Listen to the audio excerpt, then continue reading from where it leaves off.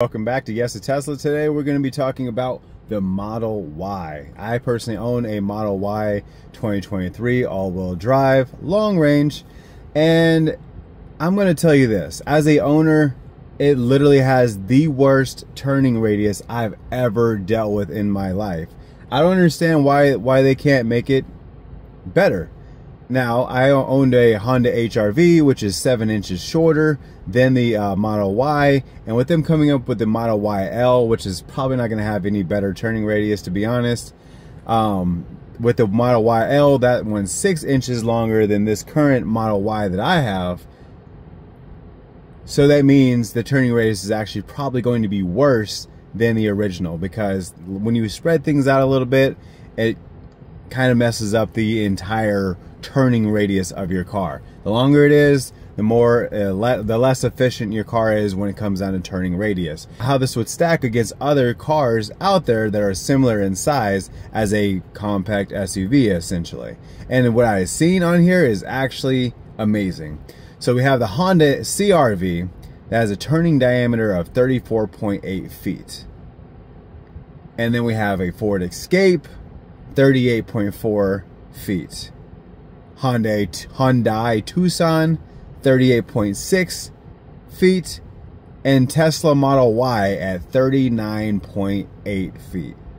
All that means is you're going to get anywhere between a foot to a foot and a half more turning radius, which is a lot with the Honda CRV, which is essentially the same size. I think the CRV is actually a little bit bigger than the uh, Model Y. Not by much, but like just a little bit bigger. But the turning radius is phenomenal compared to a Model Y, which is crazy because I'm like, you turn in that Model Y like you're turning a big truck.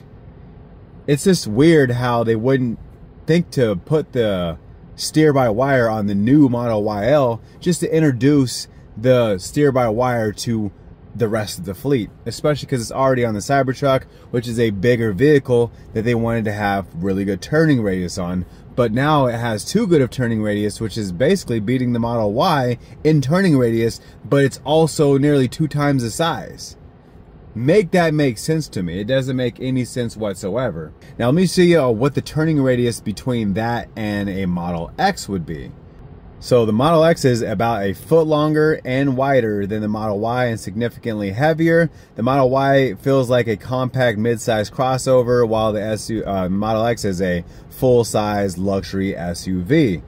Now this is where it's going to be and this is based off of the uh, update that they did in 2021 for the Model X and that is 38.7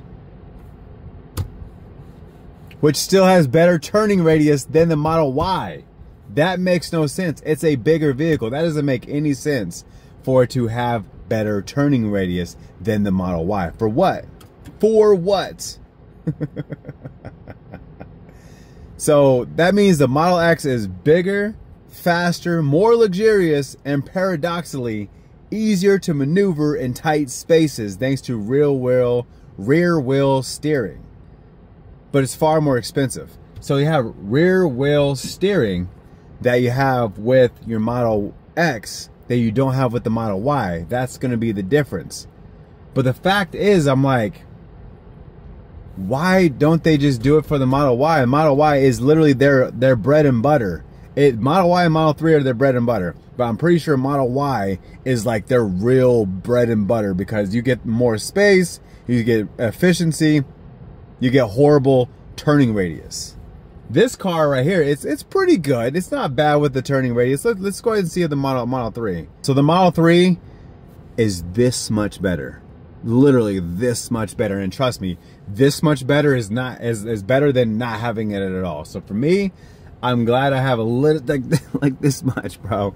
So the, the numbers on this one is 38.1 feet and on the Model 3 and then 39.8 feet on the Model Y. So it literally is slightly better, like inches better than the Model Y, which is crazy, which is insane. So they're basically the same when it comes down to turning radius. So it says Model 3 is sleek, fast, efficient, slightly cheaper, better handling, and turning radius. Best if you want a sporty EV sedan with great range.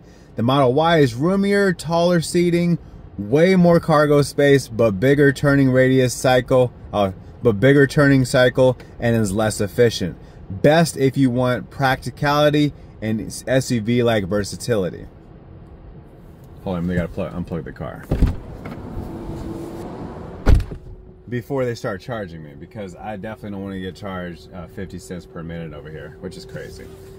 But yeah, so to me,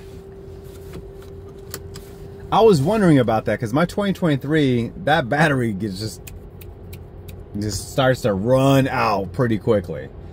And I was like, dude, is the battery going bad or something like that? Then I realized that no, it's just because the efficiency on the Model Y is way different than the efficiency on the Model 3, which makes sense because it is a smaller car.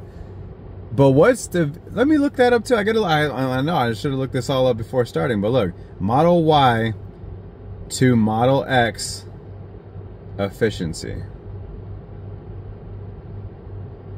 Which one? Boom. Let's see which one is better or efficient. I'm pretty sure the Model X is going to be the more efficient car. Isn't that crazy? It's bigger, wider, longer. Let's see. So the Model Y uh, long range. We're going to do the long range to the dual motor Model X. So Model Model Y long range, 310 miles. Model X, 325 miles. Model Y is far more efficient than the Model X, delivering 122 miles per uh, electric volt versus uh, 96 miles per electric volts. I like saying electric per, per, per kilowatt, basically. Uh, let's see here. Model Y costs less to charge per mile, give more range for their energy, and it feels closer to a sedan in efficiency. You're paying for size, space, and luxury, but efficiency takes a hit. You'll visit superchargers more often on long trips compared to the Model Y. Unless you need the X's room and towing, towing capability, then you shouldn't get the Model X over the Model Y. Okay, so me personally, I don't need at all I don't need more space. Now, one day I might need more space, but as of right now, I don't need more space. The Model Y is exactly what I need. So um, when I need more than that, I might just get the Model YL when it's on sale, not when it first comes out. I promise you that. Probably gonna have some panel gaps, yada yada yada. For me, it's like I get why people like the Model Y. I'm not Model Y, Model X.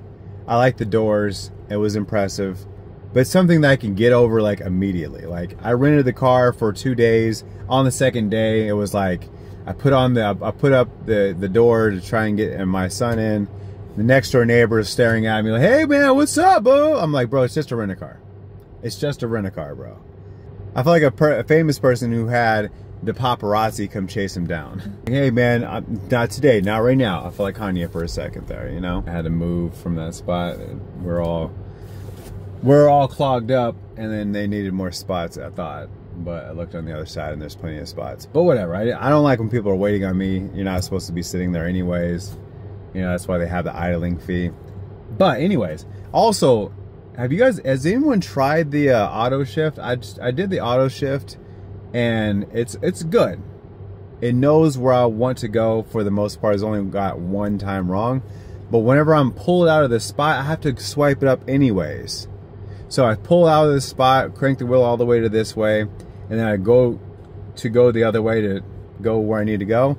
And instead of putting it in drive, it just continues to reverse. And I have to physically put it up. So I'm like, I get it, it's auto shift beta, and I don't know, I just feel like they, they could definitely get that right immediately.